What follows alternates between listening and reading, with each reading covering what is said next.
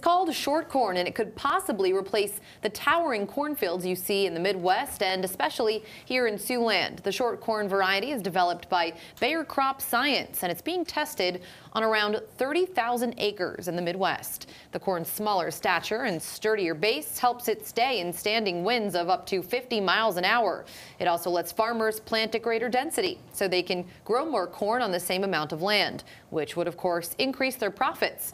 This can be helpful as farmers have experienced several years of low prices that are being forecast to continue.